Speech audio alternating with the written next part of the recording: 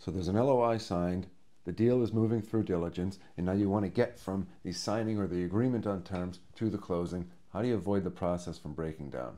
I'm Arthur Petropoulos, managing partner here at Hillview Partners, or a middle market, lower middle market M&A and capital advisory firm, helping companies generating a million to $10 million a year in pre-tax profit or EBITDA, sell their companies, or secure capital. And so today we really want to dig into how do you keep a process from breaking down? And some of these things contemplate the pre-LOI, kind of getting out to the market and talking to people. Some of them contemplate more of the formal diligence towards the closing of a deal. But here are five real considerations, things that can be pragmatically implemented into the process to avoid the process from breaking down. Because just like anything in business, there's a level of momentum, there's a level of deal fatigue on the other side that can kill things that should take place. And how do you avoid that and what things can be done? These are some considerations.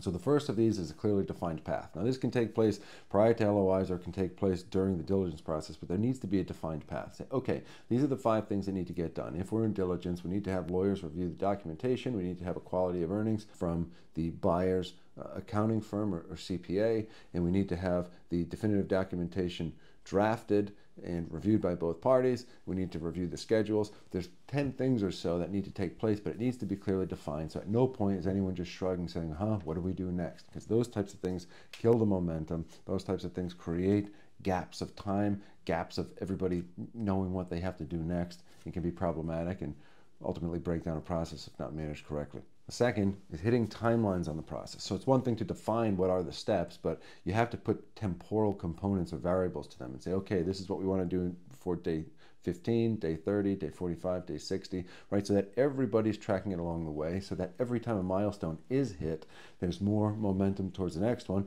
and everybody can collectively and independently gauge is this thing on track? Are we doing the things we need to? Because at the end of the day, everybody answers to someone in the sense that there's chairman, there's ownership people in businesses, there's uh, clients on our side, whatever the case may be. But you have to be able to go back to those people and say, here was the path, here was the map, here were the timing milestones and elements. These are the things we did, and here's how we're keeping it on track. And that keeps the process from breaking down. And number three, clearly defined issues. And so there's not going to be any process in business, and whether it's selling a business, finding capital, or whether it's anything any of our clients do, or anyone in business, there's always going to be issues of a sort. And so nothing should be swept under the rug, and they need to be clearly defined. They can be big issues, they can be small issues, but as issues arise, which they always will, and as they're flagged, they need to be listed, lined up, and clearly defined. Okay, here's our running issues list.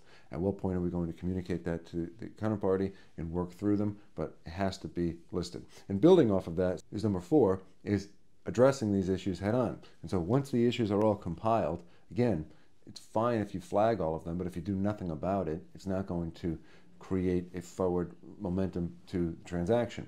And so everybody needs to sit in a room, everyone needs to look at each other, and we all need to say, okay, these are the issues let's walk through each one. And some you're going to have to come back to over and over again. But if you lock everyone in a room, you say, here are the issues, let's all get to some sort of a happy medium relative to each of them, you will do it, right? Most good things, as we've said in a lot of these videos, in business or in life in general, sit behind a handful of difficult conversations. And that's no truer than it is in the deal business. And so the last consideration in avoiding process breakdowns is going to be making decisions and plans. And you can almost think of the concept, I don't know who said it, but it was make a meeting from a meeting. So every time some issues are tackled, every time one milestone is covered within the process, have the next step of the process laid out to everybody, have everybody's homework assignments allocated and delegated, and that way there's no confusion as to what everybody needs to do and what the next steps are. There's a misconception in business in general that people can be lazy, that people really don't want to you know, pick up the ball and run with it. And that's really not the case. It's far rarer to find people who are lazy in business. What you find is that people that don't have clear instruction as to what the next steps are. And you can make the argument as to kind of what intuition or get goingness they have in terms of finding out what those next things are. However, if you give people clear instructions, you're very likely to get clear responses. If you were to say to people, this wood needs to be chopped, these holes need to be dug, they really won't have a problem in doing it and they'll do it well. Now, it's, I think, a next level to say, hey, holes need to be dug, can you figure out where they need to be dug? Planning out what the next steps are, who needs to do what, and what those next milestones are will eliminate 95% of the risk of a breakdown in process. So, to recap from today, if we want to avoid breakdowns of the process, here are five things that you need to do. One, clearly define the path forward. Two, hit the timelines or the temporal elements of the process. Three, clearly define the issues. Four, address the issues head on, and five, make decisions and plans from the last decisions that were being made. So if you can do these things, whether it's the process, as we're alluding to in this video, of getting from the signed LOI to a closing of a deal, or really anything else in business, you're going to find that the processes break down far less because there is that momentum, there is that continuity, and there is a generally collective understanding of what needs to get done and what those next steps are. So that's a thought for today. Hope the week continues to go well for everyone. Keep pushing forward. God bless. We'll see you next time.